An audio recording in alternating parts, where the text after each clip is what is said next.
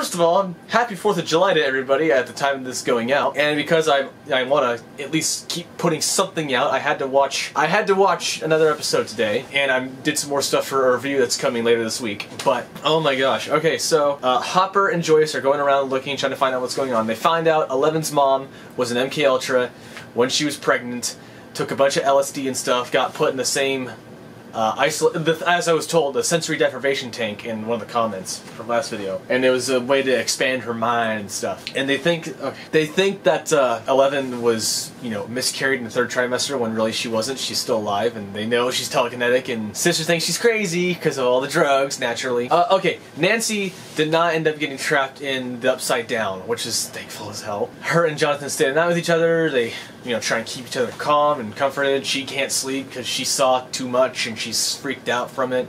They decide, like, they try to figure out what it is, and she's like, you know, it hunts at night by itself, like a like a bear. It smells blood. So they're gonna try and figure out a trap for it. Steve was gonna try and sneak into Nancy's room and find out what she was doing. She sees Jonathan. Now she spray paints Nancy the Slut Wheeler on a movie theater sign. There's a big kerfuffle about it. Jonathan absolutely owns Steve. Screw you, Steve. You suck. Got your butt handed to you by a photographer. What up? Accidentally hits a police officer and is gonna be charged with assault more than likely. Lucas tries to find the gate on his own, whilst Mike and Dustin try and find El. End up getting cornered by uh, the two bullies. The one, like the one that wet his pants. They're like, you know, the one who wet his pants, just like if you don't, you know, takes Dustin hostage at one point.